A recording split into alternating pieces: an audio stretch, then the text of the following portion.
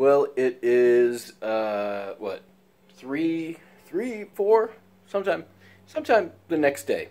Um, I last night, right after midnight, um, waited till the clock rolled over past twelve and uh, just ended all my listings again uh, that were going to end sometime during the course of the day, and then uh, just relisted them. I didn't want to risk uh, my listings disappearing again. I didn't want to have to manage it all throughout today like I did yesterday. So um, then today at oh I don't know, want to say like two or three o'clock.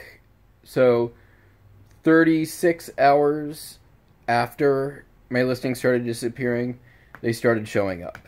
So I have all my listings back as far as I can tell. I haven't gone through them with a fine tooth to- comb, but I had thir- you know 400 listings disappear off eBay for 36 hours with no communication from eBay, no explanation from eBay, no apology from eBay, and I bet I'm not going to get any credit from eBay.